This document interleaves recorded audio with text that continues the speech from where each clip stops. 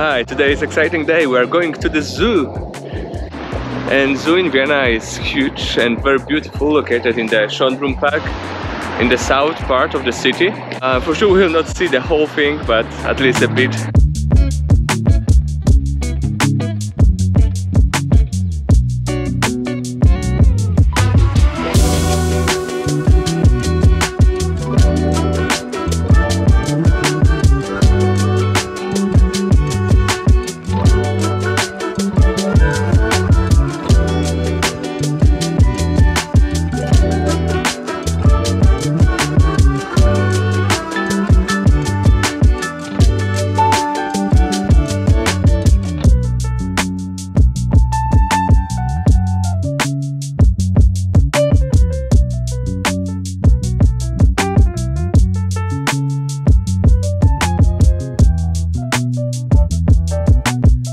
By the way, did you know that this zoo is the oldest active zoo in the world?